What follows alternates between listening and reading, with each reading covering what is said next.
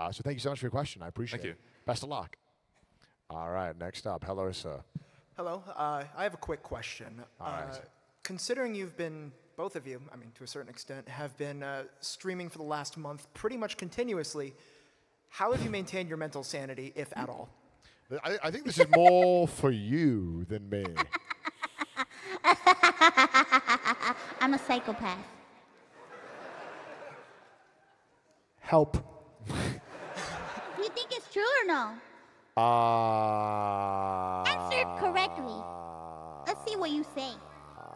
trying to think which Hurry. one which one gets me in trouble. Yes. I think I got it wrong.